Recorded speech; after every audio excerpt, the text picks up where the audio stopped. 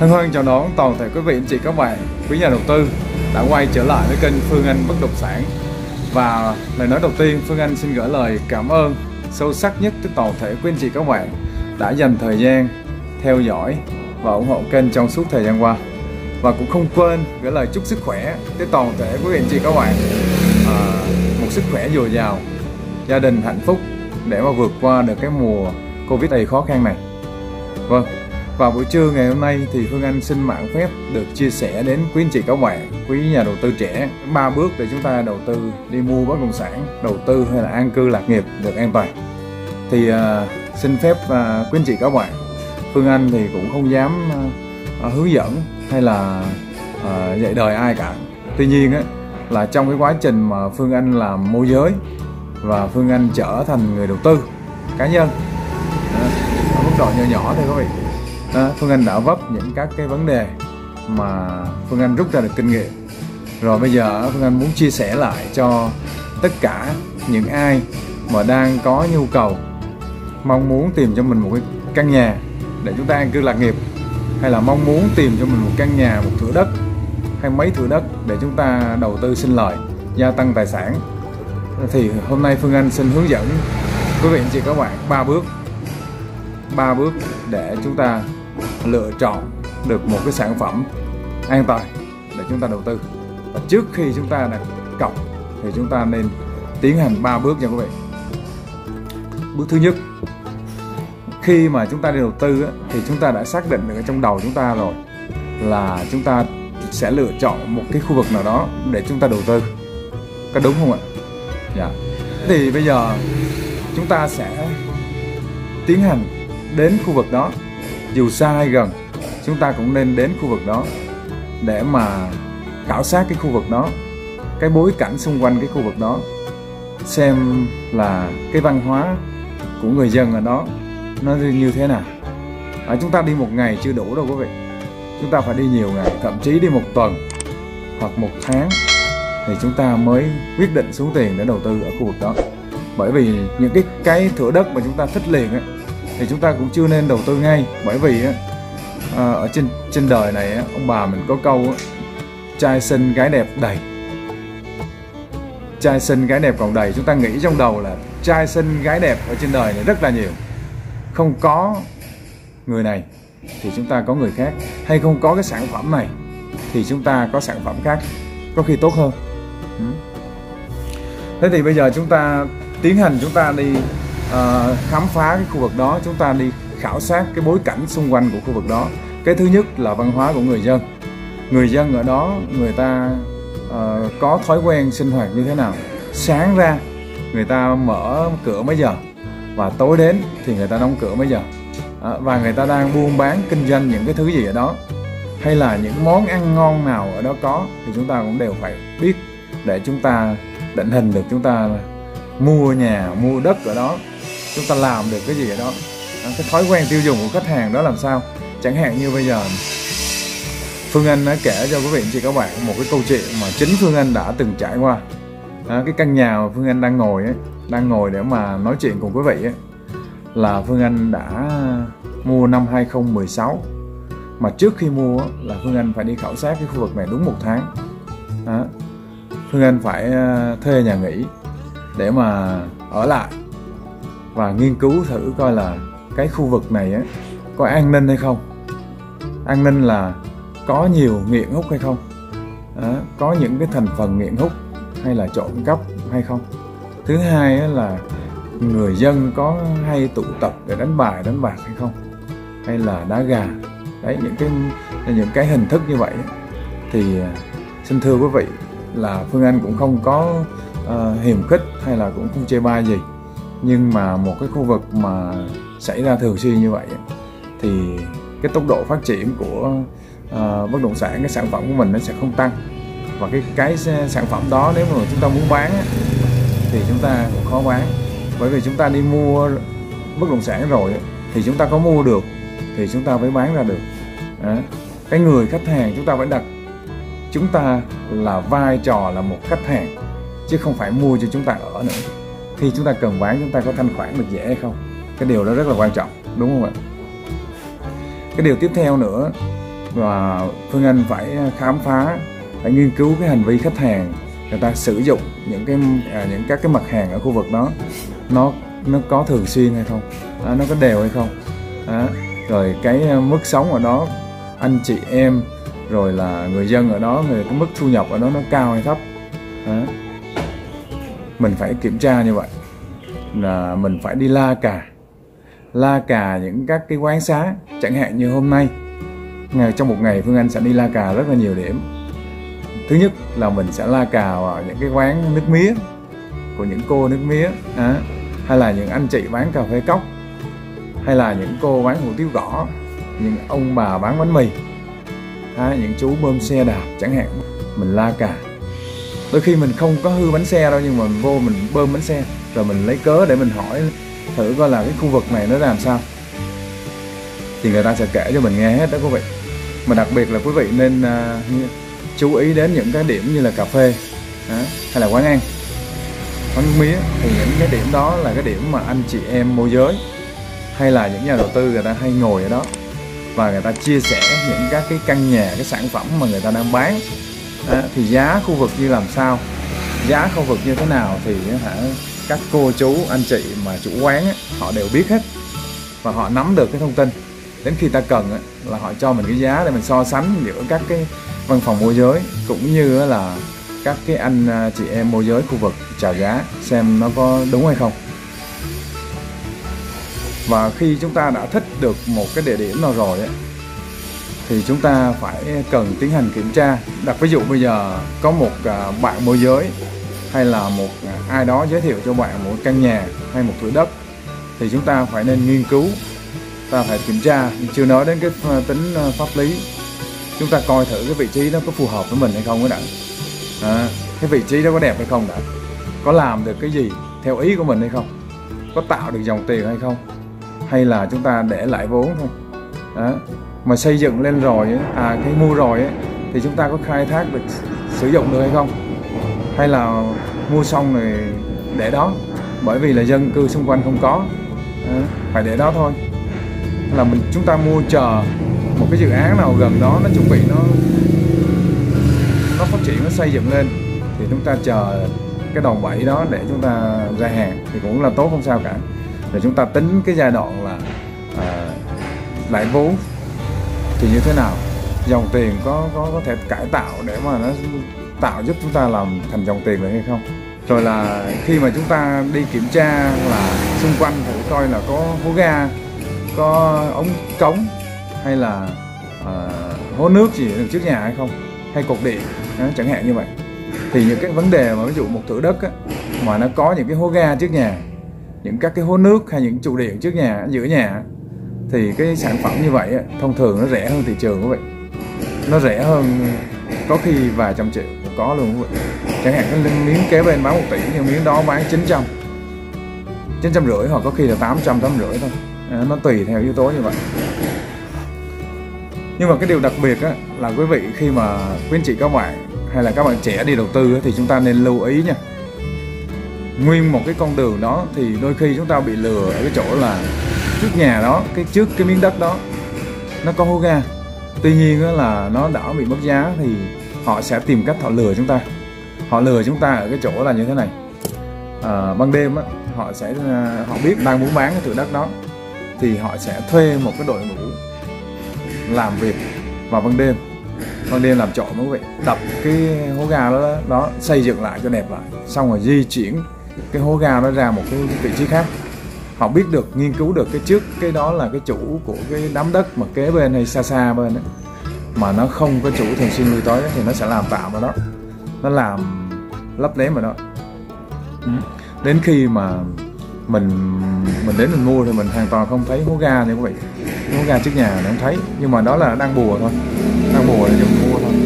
Thì mình phải kiểm tra luôn cả cái vỉa hè mình xem coi là cái cái cái vỉa hè mình nó có bất thường gì hay không chẳng hạn như bây giờ thấy cái ta ly của vỉa hè mà nó thấy nó bất thường cái người mà làm gian xảo làm ban đêm á thì người ta làm rất ẩu người ta sợ người ta làm ẩu không có làm đẹp được như bình thường. Thành ra mình coi mình biết hoặc có thể là mình đứng lấy cái chân mình mình mình lấy cái góc chân mình dọng dọng dọng xuống dưới dưới những các cái vỉa hè mình coi nó có tính bột bột hay không. Nếu mà bột bột thì chỗ đó là có cái hố ga à, chỗ đó hố ga mà họ được à, bùa lên thành cái vỉa hè bình thường không gì hết à, khi kiểu gì kiểu cũng sẽ có như vậy. Cho nên quý vị nên lưu ý cái vấn đề đó nhé. Vấn đề đó thì phương anh đã à, được thấy rồi. Nên là hôm nay phương anh xin chia sẻ đến quý vị chị các bạn. Chúng ta nên lưu ý những cái vấn đề như vậy. À, cái bước tiếp theo nữa là chúng ta à, cần tìm hiểu thêm là cái miếng đất đó cái căn nhà đó nó về cái tính phong thủy của nó nó có phù hợp với mình hay không? À, nó phù hợp với mình hay không? Phong thủy là gì? Là hướng. Cái tứ trạch đó mình nằm hướng nào mình có phù hợp hay không? Thông thường thì những cái hướng tây ấy, nó rẻ hơn, những à, hướng à, à, nam hướng bắc hướng đông nha quý vị.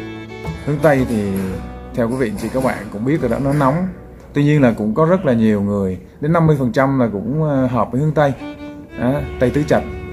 À, đông và tây thì có 50 50 người ta hợp như vậy. À, hướng tây thì thông thường có nhiều người hay nói là hướng của nhà giàu đó quý vị nhưng mà cái hướng ờ, hướng đó thì nó nóng. Các anh chị phải công nhận là ở xây nhà lên thì nó nóng đúng không ạ? Và thứ hai là mình coi thử cái đất của mình ấy, nó có đều đầu đều đuôi hay không? Nếu như mà nó đừng trước mặt cái con đường nó nhỏ từ sau nó phình ra thì người ta là kêu là nở hậu. Nở hậu thì thông thường là nó giống biểu tượng như một cái túi hay một cái bình đó quý vị. Có thể giữ được tiền dân gian quan niệm điều đó. Ông bà mình cũng hay nói điều đó thì nở hậu thì đương nhiên là nó sẽ tốt đúng không ạ? Nhưng mà theo quan điểm của phương anh thì nó vuông vức thì nó sẽ tốt hơn. Đó. À, còn lại thì à, chúng ta nên à, tìm hiểu thêm là à, cái à, đất đó cái nhà đó có người tử vong hay không? Và kiểm tra xem người ta tử vong có bình thường hay không. Nhưng mà nó ngược lại với bình thường thì nó có sao đó quý vị. Đôi khi chúng ta đi mua bất động sản chúng ta vội vàng ở cái chỗ là cái giá nó rẻ rẻ mà chúng ta vội vàng chúng ta xuống tiền chúng ta đầu tư thì đôi khi chúng ta nút trái đắng luôn quý vị. Tại vì sao mà Phương Anh phải dành một tuần lễ đến 10 ngày hay là nữa một tháng? Phương Anh đi tìm hiểu cái thị trường tìm hiểu khu vực thì Phương Anh mới quyết định mua. Không phải là mình chắc ăn quá nhưng mà đôi khi á à, thực ra thì nó là tiền á, thì nó là bạc nhưng mà đôi khi cuộc sống không có tiền thì cũng không không có giải quyết được vấn đề. Chúng ta làm ra được đồng tiền nó cũng khó đúng, đúng không quý vị? Thành ra chúng ta kỹ chừng nào thì chúng ta tốt chừng đó đỡ hay mất tiền. Đó. thì à, nếu như trường hợp mà cái căn nhà đó có người tử vong ở mức độ bình thường tự nhiên mà mất thì không sao. Nhưng nếu mà có người mà tự sát bất thường ở đó thì là cái phong thủy ở đó không tốt. Nó bị ám khí ở đó quý vị. Nó ám khí ở đó thì sau này chúng ta mua rồi thì chúng ta bán cũng khó à, để là mà kiểm tra được những các cái điều như thế này ấy, thì chúng ta cần phải quan hệ với lại những cô nướng mía những chú cà phê những ờ, anh bán ờ, hàng rong ở khu vực. Thì chúng ta đều biết hết. Mới đầu thì phương anh sẽ nhờ họ mua, mua giùm luôn. Mình nhờ họ ví dụ như bây giờ nhờ những cái người mà đi đi mua buôn bán dạo thì người ta sẽ thấy được những cái căn nhà nào bán nhiều hơn là cái người ngồi chỗ có những người người ta đi nhiều người ta thấy được cái bảng bán nhà đó quý vị. Mà mình đã thích ở khu vực đó thì cung cấp cho mình là mình gửi tiền cà phê cho họ. Chẳng hạn bây giờ nói là anh ơi em nhờ anh mua cho em một căn nhà. À, em không biết là họ bán bao nhiêu nhưng mà anh mua được cho em thì em sẽ gửi anh 20 triệu hay 30 triệu. Rồi hả cái tiền mà hoa hồng họ trả cho anh là khác nữa nha.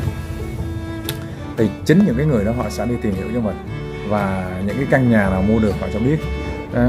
như trước khi mà phương anh mua cái căn nhà phương anh đang đang kinh doanh thời trang này là có một người chào phương anh ở trên khúc trên chợ. Một căn nhà rất là đẹp ngay vị trí chợ luôn. Nhưng mà vô lý một cái là không có người ở. Một cái nơi mà rất là sầm uất một cái nơi rất là à, đông đúc như vậy mà lại không có người ở. À, phòng trọ rất là nhiều nhưng lại không có người ở. Thế thì bà xã phương anh nói với anh là cái vị trí này á mua đi làm cái gì cũng được. Làm cái gì cũng được trên đây đó. Anh mua đi. Thì phương anh với nói là khoan đã để anh nghiên cứu lại coi đã. Tại vì trong linh cảm của mình thấy rằng là cái nhà nó tự nhiên nó nó lạnh quá. Là mình đi ra đằng sau mình thấy có một cái à, cái thau thang để ở đường. Đó, rồi nhà thì không có ai ở. Thì cuối cùng ra tìm hiểu ra thì là biết được rằng là cái nhà đó là có hai vợ chồng nhà anh chị xấu số đó đã ghen nhau và tự tử ở đấy. Thành ra là người ta sợ, người ta không dám mở. Và bán rẻ luôn. Nó cũng không ai mua. Nếu như mình vội vàng, mình tham, cái lòng tham mình trỗi dậy mà mình mua ngay, mình đặt cọc ngay, mình không mua đi, mình đặt cọc đi. Chẳng hạn bây giờ căn nhà đó 2 tỷ 3 tỷ, mình đặt cọc ít nhất ờ, là cũng phải ờ, 5 phần trăm thì cũng phải hết tiền trăm triệu để mình đặt cọc rồi thế thì khi mà đặt cọc rồi mình không mua thì coi như mình mất cái số tiền cọc đó. Đó là chuyện bình thường hết sức bình thường. Nên chúng ta nên cẩn thận trong cái vấn đề mà kiểm tra phong thủy à, của cái miếng đất của cái sản phẩm bất động sản. À, trước khi chúng ta quyết định là tiến tới cái cái vấn đề là đặt cọc. Và cái vấn đề thứ hai quan trọng cũng không kém đó chính là chúng ta phải kiểm tra cái tính pháp lý của cái sổ đỏ đó. À, khi mà chúng ta cảm thấy được cái vị trí ok rồi kiểm tra cái tính phong thủy ok rồi thì chúng ta đến cái tiến hành đến kiểm tra pháp lý của cái cuốn sổ đỏ. Cái pháp lý thì phương anh xin phép uh, sẽ không nhắc lại ở cái video này. Bởi vì phương anh đã làm nguyên một cái video để chia sẻ về tính mà kiểm tra thật giả của pháp lý à, của cái cuốn sổ đỏ. Thì mời quý vị chị các bạn quan tâm thì chúng ta có thể theo dõi ở trong cái kênh của phương anh bất động sản thì chúng ta sẽ thấy. Phương anh không nhắc đến cái tính pháp lý của sổ đỏ tuy nhiên là phương anh cũng xin lưu ý cái vấn đề rất là quan trọng cho quý anh chị, các bạn, đặc biệt là các bạn trẻ khi mà chúng ta đi mua nhà. Nếu trường hợp mà cái sổ đỏ của khách hàng à, đang nằm trong ngân hàng, thì thông thường là cái việc giao dịch mà sổ đỏ nằm trong ngân hàng thì là nó là chuyện bình thường. Chúng ta chỉ cần đặt cọc, rồi chúng ta chờ chủ lấy cái sổ đỏ ra, đến ngày chúng ta đi công chứng thôi. Đó là điều hết sức bình thường nhưng mà có cái việc như thế này mà quý vị anh chị các bạn chúng ta cần, cần lưu ý nè. Cái chủ của cái căn nhà đó đang nợ ngân hàng nhiều hơn với lại cái số tài sản của cái căn nhà đang có. Ví dụ bây giờ căn nhà bán có 5 tỷ thôi nhưng mà đang nợ ngân hàng tới 10 tỷ và chuẩn bị bị ngân hàng phong tỏa tài sản thì họ biết được họ tranh thủ bán trước thì họ yêu cầu bạn chuyển tiền vào tài khoản của họ à, thì lúc đó là ví dụ như trường hợp chúng ta mua hay chúng ta đặt cọc mà chuyển tiền vào tài khoản của ngân hàng thì lập tức là ngân hàng sẽ phong tỏa cái tài khoản đó luôn. Và chúng ta không lấy lại được tiền bởi vì chủ căn nhà đó đang mắc nợ ngân hàng. À, chúng ta rất là rắc rối trong vấn đề đó. Cho nên là chúng ta đặc biệt quan quan tâm đến vấn đề là nếu trường hợp mà chủ đang mắc nợ thì chúng ta yêu cầu chủ lấy sổ đỏ ra thì chúng ta mới giao dịch. Chấp nhận đợi nếu mất cơ hội thì thôi. Còn chấp nhận mà liều thì chúng ta làm. À, liều thông thường ăn nhiều đúng không vậy dạ. Nhưng mà an toàn vẫn hơn quý vị. Đó phương anh nhấn mạnh cái điều đó để quý vị lưu à, lưu ý Tiếp theo thì chúng ta phải kiểm tra cái mục đích sử dụng của nó. À, mục đích sử dụng là à, đất trồng cây lâu năm hay là đất à, ở đô thị hay đất ở à, nông thôn. À, đôi khi là thổ cư và thổ canh nó chung với nhau chẳng hạn có 100 mét nhưng mà có 50 mét thổ cư thôi còn lại 50 mét trồng cây lâu năm. Thì chúng ta thử hỏi kiểm tra lên trên tài nguyên môi trường chúng ta hỏi thử coi là uh, cái này đất này có thể mà mà mà chuyển đổi thành đất ở được hay không? Đóng thuế má ra làm sao? Đó. Rồi kiểm tra uh, cái uh, vấn đề là đất có bị tranh chấp hay không? Đất có bị đang bị chặn giao dịch hay không? Đó, những cái vấn đề chúng ta có thể liên hệ với lại Ờ, phòng công chứng hoặc là ờ, đơn vị quản lý đất đai đất đai như là phòng tài nguyên môi trường đó, hoặc là ra ủy ban nhân phường. Chúng ta sẽ kiểm tra được những các cái ờ, công đoạn đó. Thì uh, trong cái cái công việc đi đầu tư nó có một cái điều mà rất là mắc cười quý vị. Đôi khi uh, uh, quý anh chị các bạn có thể mua được con trâu dư sức mua được con trâu. Nhưng mà trước khi mình đi mua con trâu thì lại mình lại không dám bỏ chiếc thừng mình không dám mua một chiếc thừng mới để mình dắt con trâu về. đó.